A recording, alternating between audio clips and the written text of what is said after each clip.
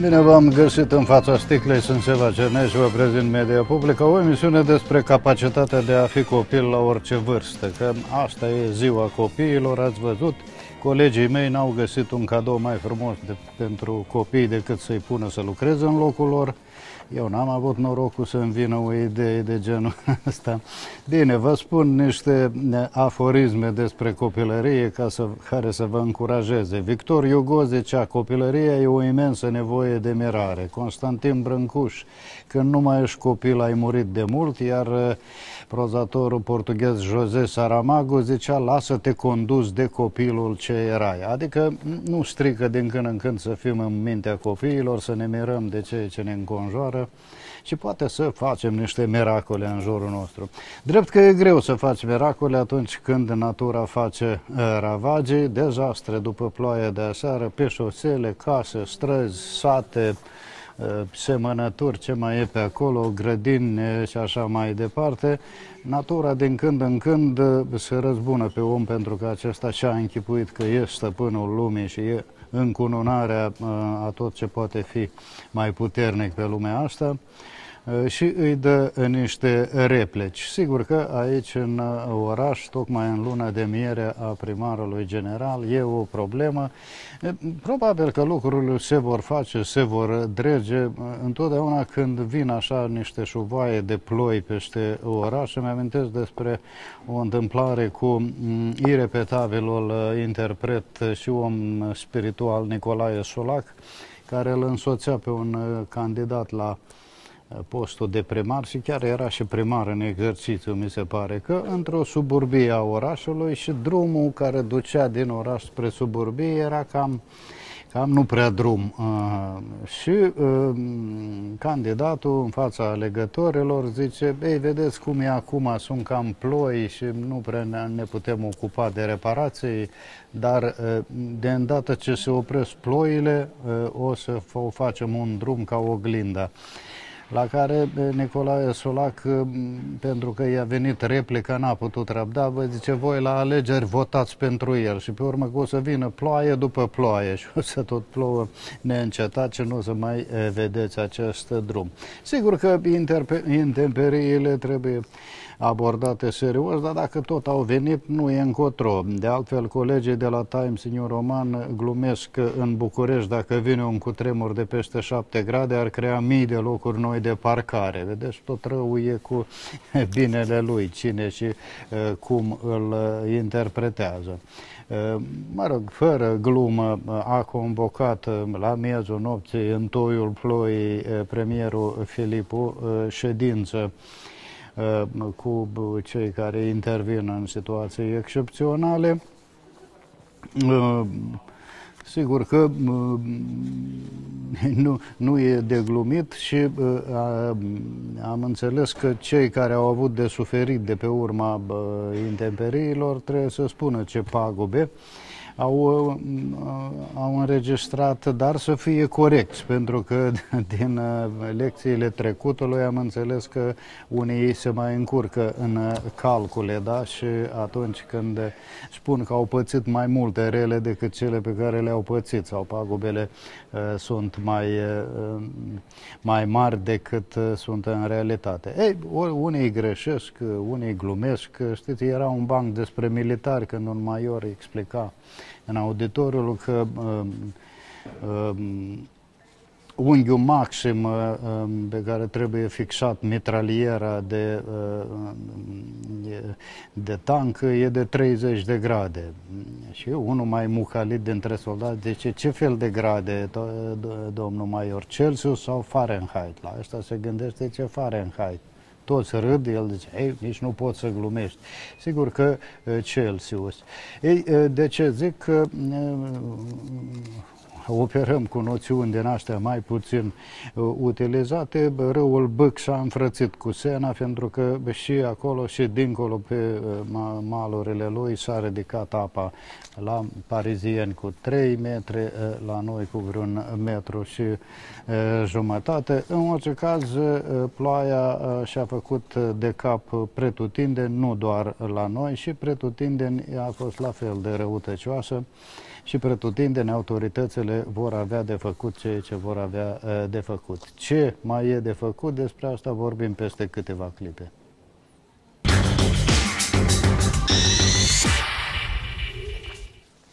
Ei, depinde când ce este de făcut uh, uh, și cine ce face. Uh, uh, se, se întâmplă așa și în uh, istorie uh, uh, despre celebrul uh, președinte american Abraham Lincoln și o poveste așa din timpul războiului uh, civil american. Era un general McClellan care era adeptul uh, tacticii de expectativă uh, și uh, nu prea uh, uh, intra în confruntare directă cu unitățile celor de la sud.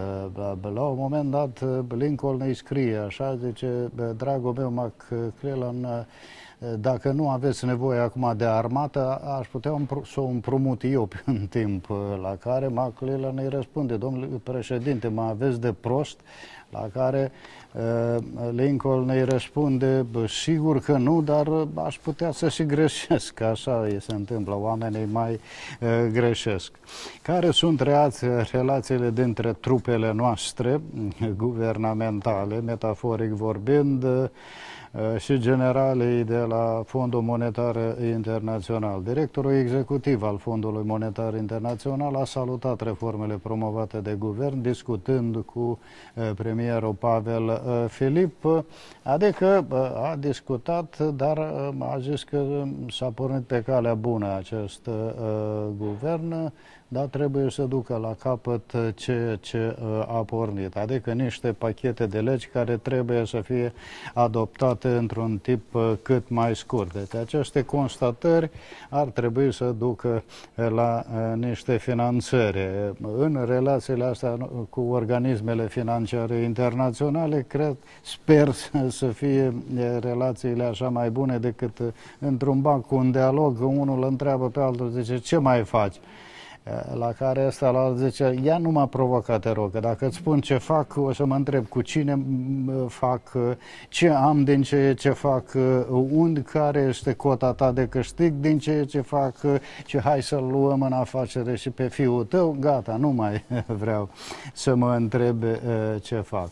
Ei, sigur că este bine că suntem deschiși spre lume, cu cât mai multe sunt și mai diverse direcțiile înspre care care suntem deschiși, cu atât uh, mai bine. Uh, uneori această deschidere mm, uh, îmbinată cu impostura aduce la câștig. La sfârșitul secolului XIX, când poșta nu era electronică, dar era cu plicuri, cu timbre, cu chestii din astea, într-un uh, ziar foarte cunoscut din Marea Britanie, a fost plasat un anunț. O domnișoară de 20 de ani, dintr-o familie bună, cu o Uh, zestre de 2 milioane de lire sterline ar vrea să facă cunoștință cu un uh, tânăr așa normal cu scopul de a se căsători. În scurt timp, pe adresa indicată în acest anunț, au venit uh, peste 30 de mii de scrisori de la mirii potențiali de la diferite capete ale uh, lumii dar uh, nimeni nu a avut șansa de a se căsători cu domnișoara respectivă pentru că scrisoarea, anunțul ăsta uh, a fost plasat de doi filateliști, colecționari de timbere care astfel și-au completat uh, în mod copios colecția. Partenerii noștri din depărtări și din apropieri iarăși apreciază schimbările pozitive din Republica Moldova, în uh, special Dacian Cioloș, premierul României, care s-a întâlnit la Sofia în cadrul unui for uh, regional cu președintele nostru uh, Nicolae Timofti. Deci ne spunea că este cam așa ezitantă poziția României, ba ei parcă se pornesc să ne aprobe, ba mai spun să vadă ce o să mai fie. În această privință iarăși există, mm, cum să spunem, o întâmplare cu Abraham Lincoln. Nu știu dacă sunt, au fost reale toate întâmplările care se spun despre el, dar în orice caz este un tip de poveste. Uh, da?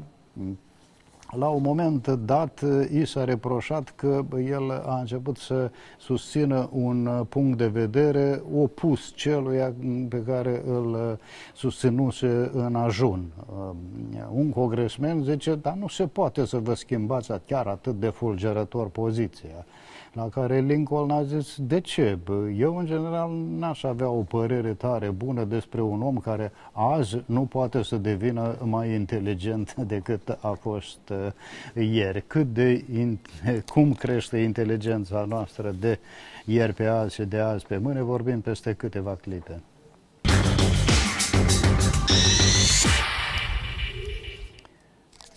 Ei, nu știu cum e cu inteligența, cu norocul, cu uh, toate uh, cele.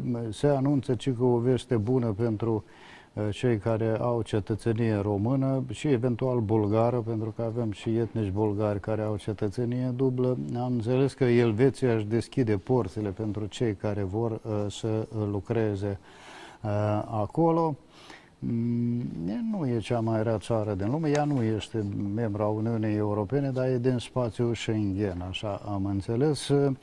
Cine vrea să-și utilizeze șansele, pentru că uneori să nu utilizezi șansele e un act de cruzime. E un banc așa mai pipărat despre asta. O doamnă la tribunal este întrebată, zice,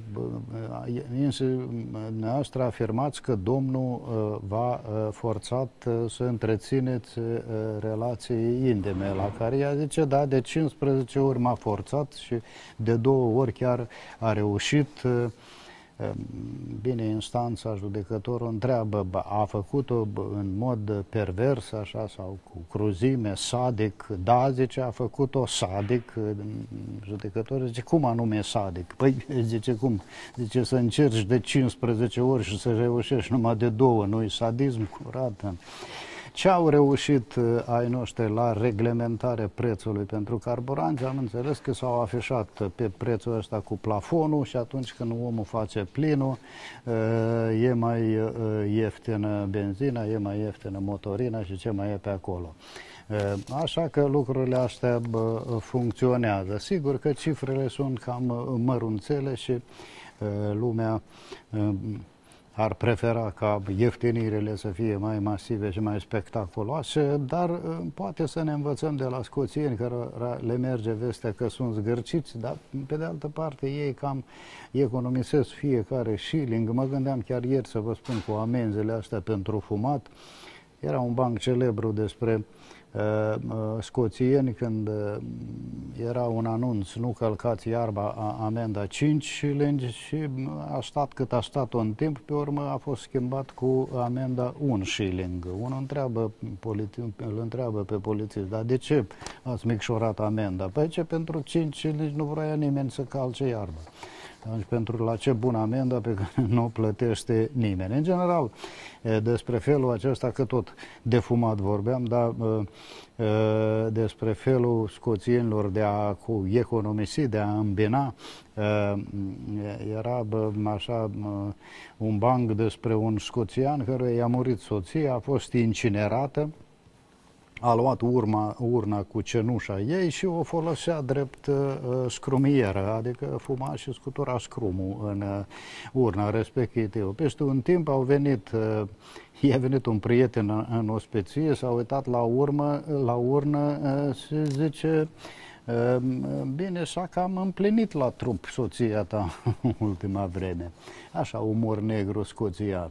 Uh, ca să, uh, la umor așa mai abda nostru, Uh, un regulament nou de la anul pentru persoanele care muncesc în fața calculatorului. Deci aici se spune care ce o să fie ei ca să aibă spor la monitor, uh, pauze peste din două în două ore, cei care lucrează 12 ore pe zi uh, încă nu știu cum pauze, nu știu, cam toți se, se ocupă. Multă, tot mai multă lume din diverse domenii se află în uh, fața monitorului atunci când muncesc, așa că acest regulament, deși pare fantezist așa pentru uh, țara, no uh, țara noastră așa mai arhaică și mai înapoiată, dar înseamnă că până la urmă o să trebuiască să ținem cont de uh, aceste reguli și o să, o să ne uh, folosească. Problema o să se rezolve. Sperăm să fie o abordare adecvată de oameni adecvați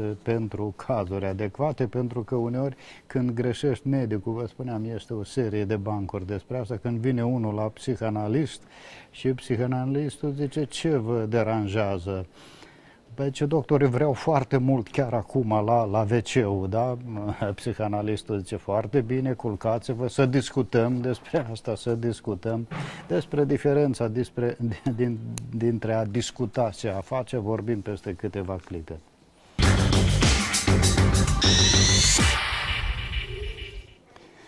Este ca și diferența dintre imagine și realitate, da? Iar uneori când diferența nu e, apar situații interesante. O anecdotă așa istorică despre celebrul scriitor umorist Mark Twain a primit o scrisoare de la un negustor care susținea că seamănă grozav cu el și ca să-și dovedească susținerea, i-a pus și o fotografie și îl ruga pe Mark Twain să, să-i confirme asemănarea, da? că seamănă seamănă. La care umoristul îi răspunse, stimate domn, este într-adevăr uluitor, fotografia îmi seamănă mai mult decât îmi seamăn eu însumi. De aceea am pus-o în ramă și am atârnat-o în camera de baie, în loc de oglindă. Dimineața când mă rad, mă uit la ea. Ei, asta este cu imaginea și realitatea. Uh, azi a fost celebrată uh, Ziua Internațională a Copiilor, o zi de neuitat, o călătorie în viitor a micilor locuitori ai capitalei. Unei au fost în Parlament și au tatonat terenul dacă ar fi bine să devină uh, deputați alții au fost însoțiți de polițiști pe la diverse unități și subdiviziuni ale acestora ca să vadă dacă ar fi bine să fie să devină polițiști, adică, mă rog, lecții de viață. Cei adulți le dau copiilor lecții de viață. Ei, unii adulți așa sunt mai interesanți când dau lecții de viață. Iată, așa era un banc despre un dialog dintre bunic și nepot. Bunicul zice, nepoate, ține minte, femeile sunt camerele, cele frumoase nu sunt bune, iar cele bune nu sunt frumoase. La care nepotul zice, bunicule, dar nu se întâmplă să fie și bune și frumoase. Bunicul zice, știi, se poate, la mere, în cazul uh, merelor. Ce o să devină ei, o să aleagă ce să devină. Era un banc celebru despre un uh, uh, om care, um, unul bogat așa, care i s-a născut copilul și întreba ce o să devină el uh, financiar sau uh, o să uh, devină așa pe linia banditismului. Da? Deci zice, cineva zice, pune un pistol și un Uh, uh, uh, și un portmoneu și ce o să își face, asta o să fie. Când el, copilul le-a înșfăcat pe amândouă, zice, bă, asta o să fie om mare. În Texas, tot așa, un dialog între tată și fiu, fiul zice, tăticule, îmi cumperi un pistol adevărat de ziua mea. Ba, asta zice, tata, ți-am spus de atâtea ori că nu-ți permit să ai un pistol adevărat. Cine hotărăște în casa asta? La care fiul zice, tu hotărăști, dar dacă aș avea eu un pistol adevărat, cine știe. Ei, ce au mai făcut ei? Au mai lepit uh, stichere antifumat în uh, Parlament împreună cu Andrean uh, Cando. Uh, despre colegii care i-au pus la lucru pe, pe copii, v-am spus, dar uite cum au tratat ziua copiilor, iarăși cei de la Times New Roman, au zis gest superb făcut de uh, corporația Apple. Copiii care lucrează în fabrica lor din China au primit azi două ore libere din cele 10 pe care le lucrează. Bine, să vă spun un banc despre șmecheria uh, copiilor, da? Mm, cât sunt ei de ager la minte. Vine unul la taică să zice, tata, aș vrea să ajut un om în vârstă, îmi dai niște bani așa, măcar așa vreo 10 lei. Da, fiule, bravo, e un gest foarte frumos, n-ați 20 de lei. Unde e omul cel sărman? Păi ce acolo pe trotuar la colț, vinde înghețată. Nu vă supărați dacă vi se pare că am tratat cu zâmbet unele aspecte mai triste ale vieții. Celebrul lider național indian Mahatma Gandhi zicea zâmbește chiar dacă zâmbetul tău e trist, pentru că mai trist decât un zâmbet trist e faptul de a nu mai ști să zâmbești. Nu umblați la telecomandă, rămâneți cu Publica TV. Ne mai vedem.